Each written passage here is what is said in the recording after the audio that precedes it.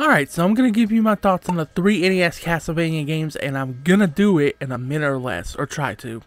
Castlevania 1, great gameplay, tight responsive controls, great enemy design, great level design, banging OST, all come together in a package of damn near perfection.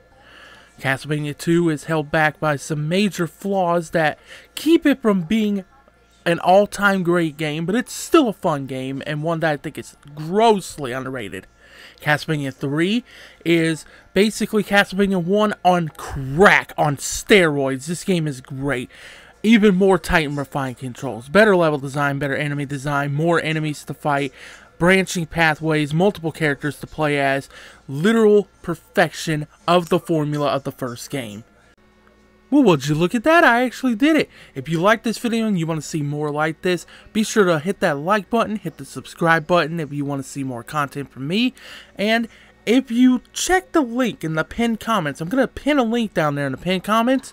Uh, it will take you to my Road to Deathless series where I try to go through the first Castlevania game. And I try to uh, go through it without dying. And uh, there are some, uh, some silly things to happen throughout uh, my attempts. So be sure to go check that link in the pinned comments. Again, be sure to like and subscribe if you want to see more content from me, and I'll see you in the next one.